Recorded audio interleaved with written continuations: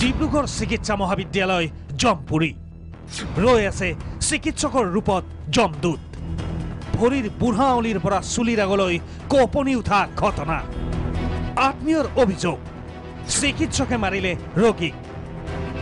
অ' পজিটিভৰ সলনি B positive গ্ৰুপৰ তেজ।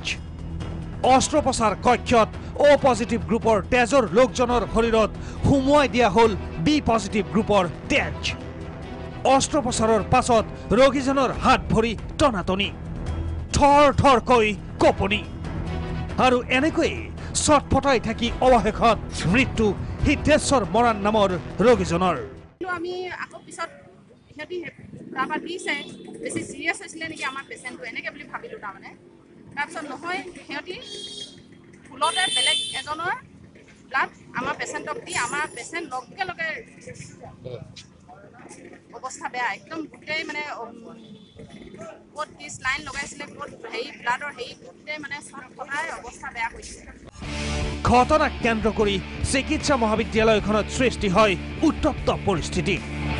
আত্মীয় তথা স্থানীয় সংগঠনে বিচাৰিছে দোষী চিকিৎসক আৰু নাৰ্ছৰ উচিত শাস্তি আৰু ক্ষতিপূৰণ। চিকিৎসালয়খনৰ যিসকলে এই ৰোগীজনক চিকিৎসা কৰিছিল সেই ডক্টৰকেইজনক আমি তীব্ৰ ভাষাৰে গৰিহণা দিছোঁ আৰু স্বাস্থ্যমন্ত্ৰীক আমি এই মুহূৰ্তৰ পৰা আপোনালোকৰ যোগেদি আমি দাবী জনাইছোঁ এই চিকিৎসালয় চিকিৎ- চিকিৎসককেইজনক অতি শীঘ্ৰেই নিলম্বনৰ ব্যৱস্থা কৰিব লাগে আইনগত ব্যৱস্থা কৰিব লাগে আইনৰ যি ব্যৱস্থা এই আইনৰ ব্যৱস্থাখিনি কৰিব লাগে বুলি আমি মৰাণ ছাত্ৰ সন্থাই আচলতে দাবী জনাইছোঁ এই মুহূৰ্তত। হৰি ৰোগীনো যাব কলৈ ক'ত কৰিব চিকিৎসা? ডিব্ৰুগড়ৰ পৰা হোমেন ফুকনৰ ৰিপৰ্ট প্ৰাগ নিউজ।